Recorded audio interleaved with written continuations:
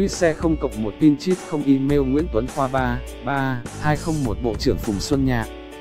Và câu nói nổi tiếng của ông ta, nguồn, dinh nhờ có Internet, những xấu xa của các ông quan CS ở mọi ngành được phơi bày hàng ngày. Người đọc chưa? Kịp quen mắt với những điều xấu xa đó thì lại bị sốc với những điều xấu xa mới. Ngày 18 tháng 2 người dân trong nước lại ồn ào với một scandal mới. Bộ trưởng Bộ Giáo dục Phùng Xuân Nhà bị vạch trần nhiều tội, gian dối trong nghiên cứu khoa học, thiếu trình độ, nghi vấn về con đường khoa bảng, không phải là giáo sư nhưng lại làm chủ tịch HDCDGSNNGS Nguyễn Tiến Dũng ở Pháp và Cộng sự đã khởi đầu bằng một bài viết với lập luận chặt chẽ như một nghiên cứu khoa học. Ít ngày sau, một số trang mạng của DLV có những bài công kích cá nhân nhưng không đề cập những lập luận của GS Dũng. Tiếp theo đó là Facebook và máy tính của GS Dũng bị đánh sập, có nghi vấn rằng hacker do nhà nước bảo trợ đứng phía sau.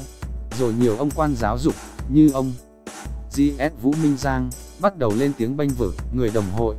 Ông Giang có sự chuẩn bị cầu thả, lập luận khi trả lời trên BBC quá yếu nên đã bị GS Dũng bẻ gây bằng một thư ngõ gửi HDCDGSNN. Thấy sự việc có vẻ không thuận lợi, GS Dung chuẩn bị đi bước tiếp theo là gửi thư cho ông Trọng, người có quyền lực cao nhất hiện nay.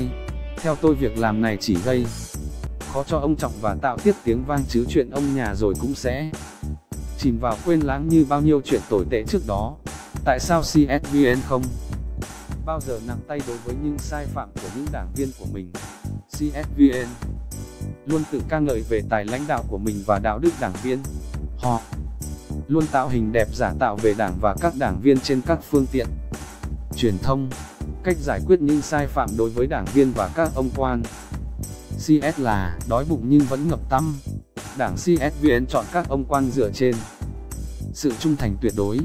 Do khó tìm được người thay thế nên họ ra sức bảo vệ, những người được cứu sẽ càng trung thành hơn. Họ không muốn cách chức. Các ông quan này dưới áp lực của công luận vì như vậy sẽ vô tình giúp đám đông này hình thành một lực lượng chống đối và có thể tiến đến lật đổ chế độ. Mặt khác, nếu con đường quan lộ của các ông quan CS được lót bằng tiền hay bằng rất nhiều tiền thì việc đánh đổ họ càng khó khăn hơn nữa.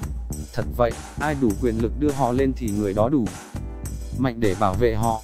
Sự nghiệp chính trị của các ông quan sai phạm chỉ thực sự lung lay nếu họ là đối thủ chính trị của người đầy quyền lực. Hiện nay, ông nhà không phải là người của 3X nên ông vẫn còn tại chức. Nhiều năm nữa, hay tệ hơn, chuyển sang làm một vị trí cao tương đương mà. Không có một án kỷ luật nào, tôi tin vậy, nghĩ như vậy nên tôi không.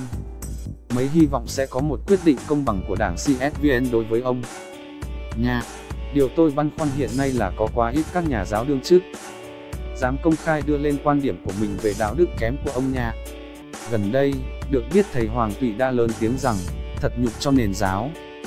Dục và khoa học VN, một bộ trưởng mà như thế, biết tự trọng thì nên từ chức. Mối băn khoăn này đã gợi cho tôi nhớ tới hai vị giáo sư mà tôi hết lòng kính trọng, G.S. Vũ Văn Mẫu, tốt nghiệp Đại học Luật khoa Paris, dạy Đại học Luật khoa Hà Nội và Sài Gòn sau đó. Ông giữ chức vụ bộ trưởng ngoại giao của chính phủ Ngô Đình Diệm trong 8 năm, từ năm 1955 đến 1963. Năm 1963, để phản đối ti ti Ngô Đình Diệm đàn áp Phật giáo, ông đã cạo đầu giống như một nhà sư rồi xin từ chức. Khi ông cố gắng rời Việt Nam Cộng Hòa để tham gia một cuộc hành hương đến đất Phật Ấn Độ, thì bị bắt và bị quản thúc. GS Nguyễn Minh Thuyết tại phiên chất vấn thủ. Tướng Nguyễn Tấn Dũng trong kỳ họp Quốc hội tháng 11 năm 2010 đã dồn ông Dũng nêu vi phạm điều 33 luật doanh nghiệp khi để cho Phạm Thanh Bình làm chủ tịch kiêm TG Vinasin, phê phán bản kiểm điểm của ông Dũng vì không nêu ai chủ trách nhiệm ngoài BGV Vinasin, đề nghị lập ủy ban điều tra độc lập của Quốc hội. Kết luận, tôi xin thành thật nói với thủ tướng là tôi không đồng tình với sự tự phê bình của Thủ tướng là chỉ nhận trách nhiệm người đứng đầu chính phủ.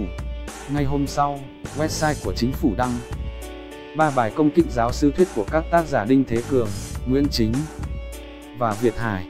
GS thuyết lại đăng đàn và chất vấn ông Dũng, Thủ tướng cho Biết ai đã chỉ đạo đăng tải một số bài công kích chụp mũ DBQH trên website của CP.